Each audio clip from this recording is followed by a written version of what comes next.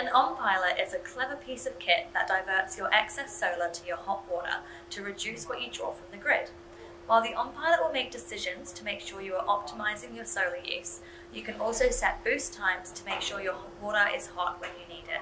We do this for you when we set it up, but if you ever need to make changes, here's how you do it.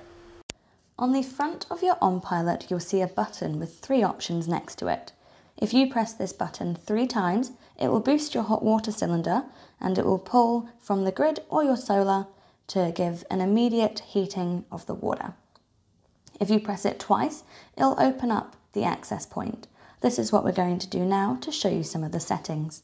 So press that button twice and then go onto your phone, go onto your network settings and find the Ohm Pilot network. Select this and log into it. It may need a password of 12345678.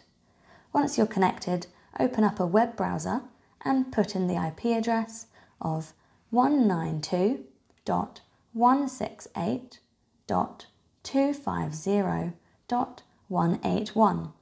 This will log you into the home screen for the Ohm Pilot where you can see the settings, the current temperature and if you scroll down there's also another way to boost here by hitting boost mode.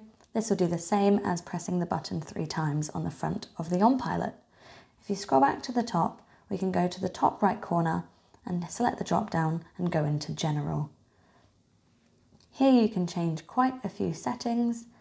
Um, we can change when the boost periods are, as well as the Legionella prevention. We want to make sure that is on, so we're just setting that to 72 hours. This will just cycle our hot water, hot water cylinder and make sure it's hot. Remember to hit save on any settings that you change. So now we're going to look at our boost periods. This is where we can set times that the hot water cylinder will heat regardless of the solar to make sure that we have hot water. We're making them from 2 to 7 and we're making it a minimum of 50 degrees.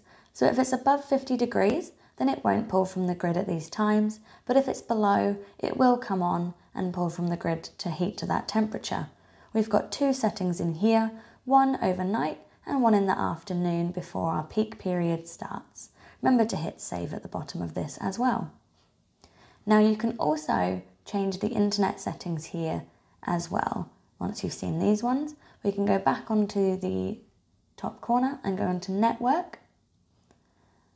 And in network, you'll see that it is currently connected to a network, but if it wasn't here, you can select this and find the network and connect and just don't forget to hit save. These are all of the settings that we're showing you today for the Ohm Pilot.